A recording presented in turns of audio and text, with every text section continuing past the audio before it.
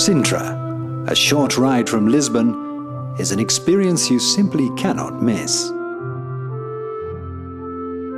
Among the many palaces, visit the Palacio da Vila, the Palacio da Pena, and the Palacio de Montserrat, and stroll amid the green and luxuriant parks and gardens. Take in the superb view over the sea at the westernmost point of continental Europe at Cabo da Roca. Back in Lisbon, down by the river, visit the Mosteiro dos Jerónimos, the Tower of Belém, and the Modern Cultural Centre.